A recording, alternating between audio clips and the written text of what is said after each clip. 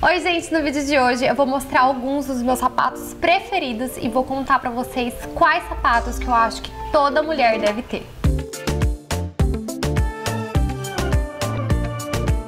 Bom, eu sou apaixonada por sapatos. Desde pequena, assim, minha mãe brinca que eu sempre amei sapato e essa paixão só cresceu ao longo do tempo e agora trabalhando com moda, ela ainda tá mais aflorada, né? E eu tenho muito sapato, eu gosto muito de sapato. Daí eu resolvi fazer uma brincadeira assim, se eu tivesse que salvar da minha coleção só cinco pares de sapato, quais seriam esses pares, né? E mostrar pra vocês, contar um pouco sobre cada sapato.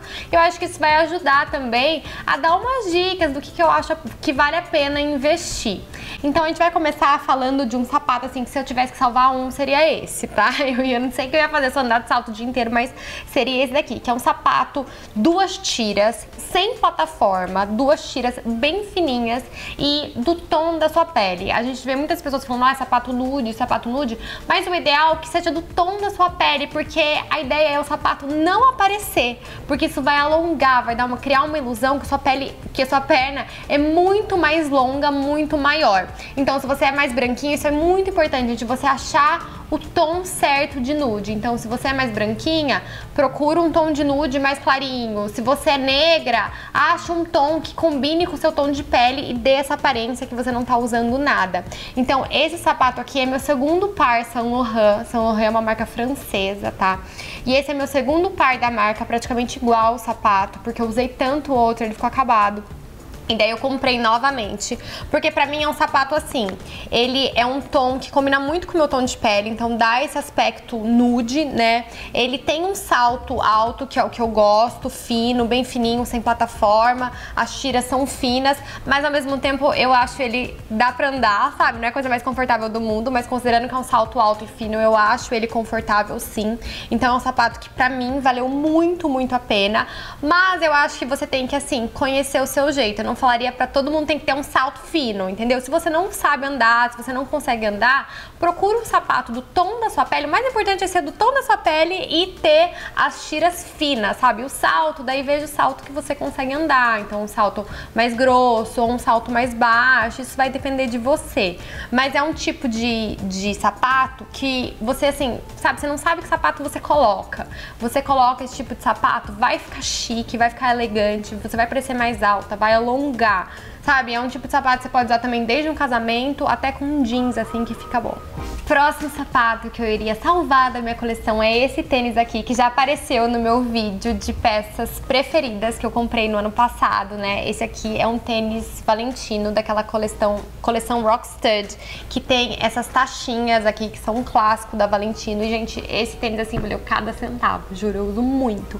E por que, que eu acho um tênis branco uma peça tão bacana? Porque ao mesmo tempo que ele é super confortável, né? Obviamente tem que ser um tênis branco confortável, porque daí a gente quer conforto, né? Então acho que o principal é o tênis ser confortável. Mas além dele ser confortável, é um tipo de tênis que combina com vários looks. Então às vezes tênis a gente associa a looks muito esporte e tal. Mas o tênis branco, por ele ser branco, por ele ser claro, eu acho que ele combina sim até com looks mais chiques. Já usei esse tênis com com saia, com vestido, sabe? Eu acho que ele vai super bem, porque dá uma quebrada naquela coisa, naquele lado mais feminino, mais chique, né, do look. Eu acho que fica bem legal essa mistura de estilos e ao mesmo tempo fica, né, fica mais estiloso e ao mesmo tempo confortável. Mas, de novo, acho o tênis branco que combine com o seu estilo. No meu caso, eu adoro, né, esse daqui da Valentino. Ele tem um lado mais girly também mais feminino, mas se você tem uma vibe mais esporte, por que não um tênis branco mais esporte também, que eu acho legal. Mas o branco, gente, por quê? O preto, um tênis preto, um tênis escuro, um tênis colorido. O tênis preto eu acho que dá uma chatada, assim, sabe? pesa no look, você não consegue fazer tantas combinações. O tênis colorido também fica mais difícil de usar, mas o tênis branco, ele combina com tudo. O próximo tipo de sapato que eu acho que todas as mulheres deveriam ter é um sapato statement. O que, que, é isso? É um sapato diferente, ou que tenha uma cor diferente, ou que tenha algum brilho, ou que tenha uma textura, uma estampa, né? Agora tá na moda o salto diferente, ou ornamentos também. Enfim, um sapato tchan, sabe aquele sapato que você pensa que você vai colocar com uma roupa básica, com uma calça jeans e uma t-shirt e ele vai fazer o look ficar fashionista? Então é isso.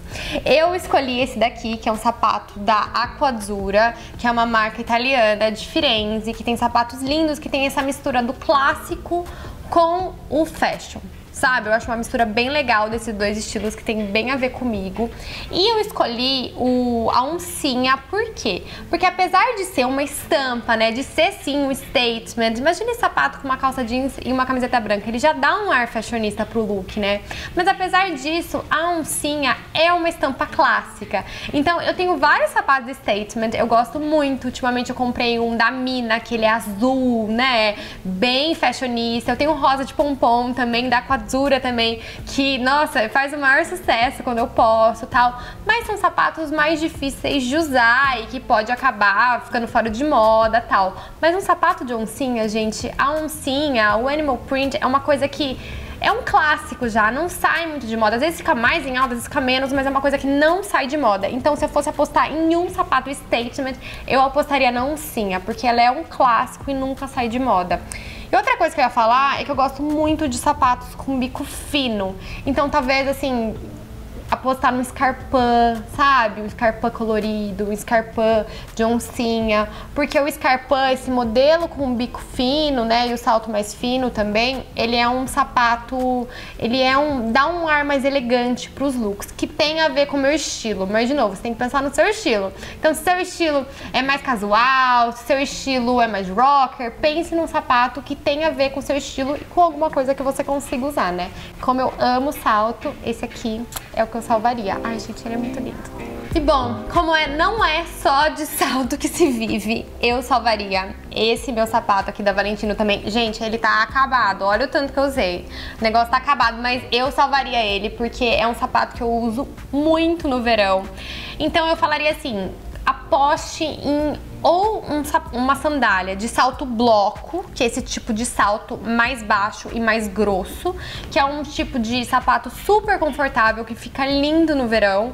Ou se você não gosta de salto, daí tipo uma rasteirinha, né? Como eu gosto de salto, eu escolheria uma sandália de salto bloco, tá? E por que, que eu escolhi esse daqui? Porque eu amo esse sapato, gente. Ele é dourado, né? Só que esse tipo de dourado, eu não acho um dourado tão pá. Então ele combina, assim, com, com os meus looks, né? Eu acho que ele combina bastante. Eu adoro usar dourado, enfim, ele acaba combinando bastante. Mas eu acho que pra uma pessoa que talvez não trabalha com moda tal, eu falaria para investir em um sapato de salto bloco ou raceirinha de uma cor básica, de um tom neutro, então assim, branca, sabe? Um salto, uma sandália de salto bloco branca, gente, off-white, não brancão, sabe? Eu acho que você usa muito, muito, muito e acho que esse salto bloco, ele dá também um, ele tá super em alta, né? Continua em alta, então apesar de ser mais confortável, ele também dá um ar fashionista pros looks.